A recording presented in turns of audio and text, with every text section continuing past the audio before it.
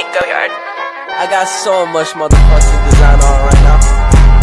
Break it down, bring it down.